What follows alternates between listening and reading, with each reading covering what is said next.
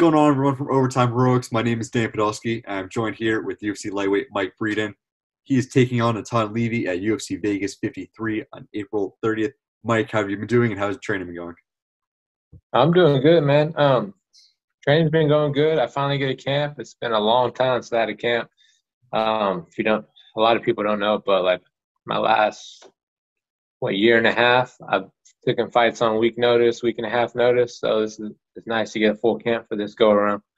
Yeah, and you, you talk about that. How much weight did you have to cut for the short notice against Alexander Hernandez?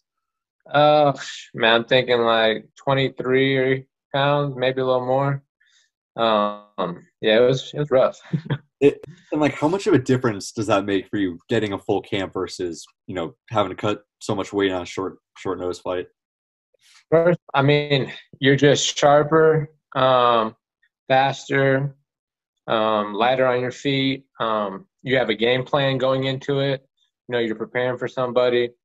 And um, when you're dieting and doing the weight cut right, you can take more damage. You know what I'm saying? Like cutting that much weight in eight days is not good on the brain, you know? But I went out there and did what I could do, you know what I'm saying? Went out my shield.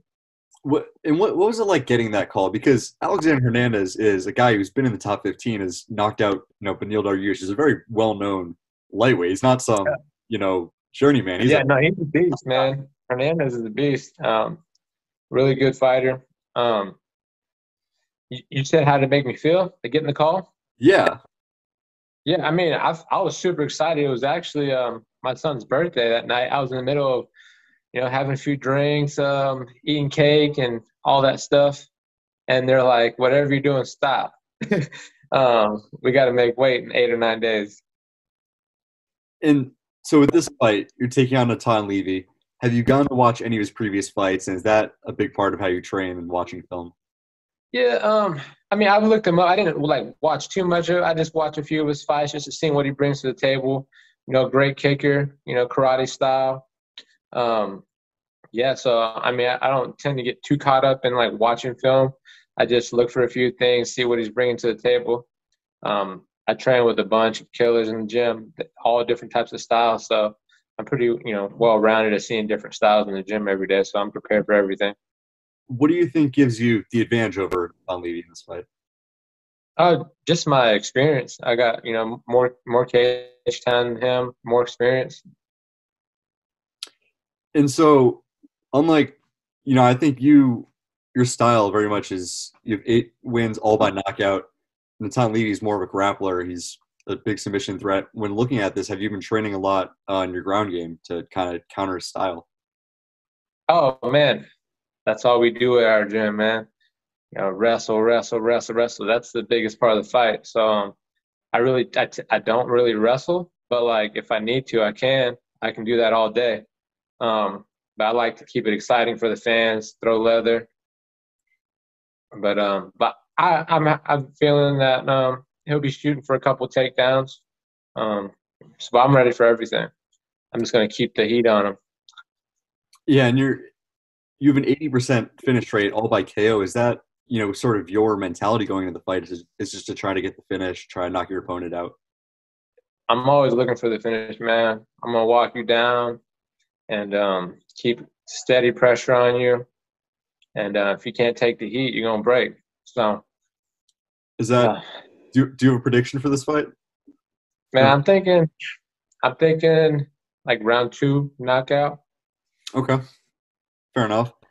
And then, so you fought on Contender Series a couple years ago, didn't win that fight. How like did that change your mindset? Like, what what was the initial mindset? Was it demoralizing at all, or did that motivate you to just kind of keep grinding through it and eventually get to the UFC? Well, it definitely, definitely motivated me. Um, but man, a lot of people don't know what I went through just to even make it to that fight. Um, I haven't really even talked about it. Um, I signed uh, the contract like seven weeks out for that fight, and then literally the next night, I got rushed to the hospital with internal bleeding. Had a bunch of adhesion in my belly, wrapped up in my bowels and my stomach intestines, and I was bleeding from my belly button, and like I was in so much pain. I had surgery that night, and um, I was on bed rest for like I think four weeks. So I had oh. three weeks to get ready for that fight, but like I couldn't run, I couldn't spar. Uh, like all that I could do was like shadow box and diet, like eat clean for that fight. So like, I mean, I did what I could. We almost talked about pulling out of that fight, but um, we are like, no, nah, we got to go out there and give it a shot, you know. And then when we land in Vegas, all my cornermen popped for COVID, so I'm cornerless. On top of that, mm-hmm. so the circumstances were super crazy. Hats off to him, you know what I'm saying? Um, it just wasn't my night. I did what I could do. I went out in my shield, and uh, yeah. And, and so you talk about your corner. Your coach is James Krause. How much? Yeah. How much of a difference does it make? You know, having him. He's obviously a well-known coach and a former fighter. Oh yeah, I mean, it makes a huge difference. Um, he knows what exactly to say to me to get me going.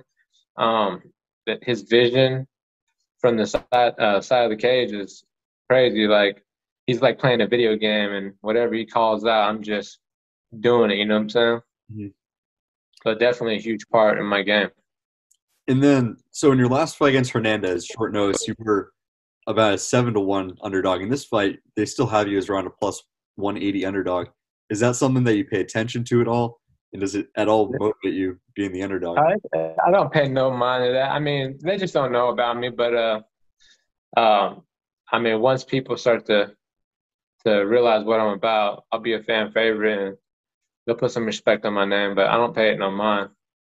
Fair enough. I've had some guys tell me like that they're. I've had one guy tell me that he's betting his contract on himself. Some guys tell me that you know if they're the underdog, then it just motivates them more. So I wasn't sure if that changed your mindset at all, but fair enough. And then I think just, you know, my final question, if, if all goes well and you beat Natan Levy, how active do you want to be in 2022? And, you know, what, what do you see as your future in the UFC going forward? Man, um, I see myself having a long UFC career. Um, super exciting style. Um, when I win this fight, uh, I, I, would like to get right back to it. Um, you know, within the next month or so, if I'm, you know, not banged up or anything like that, and then fight one more time at the end of the year. So at least two more fights this year, you know. And uh, man, with my career, um, I got a fan-friendly style. I bring action. Uh, I'm never in a boring fight. So I, I feel like um, I just stay on the grind, man. I'm gonna be in there for a while. Fair enough. Mike Breeden, thank you so much for taking the time. Guys, you can watch Mike fight against Natan Levy uh, next Saturday at UFC Vegas 53. Mike, thank you so much. All right, man. You have a good one. You too. All right.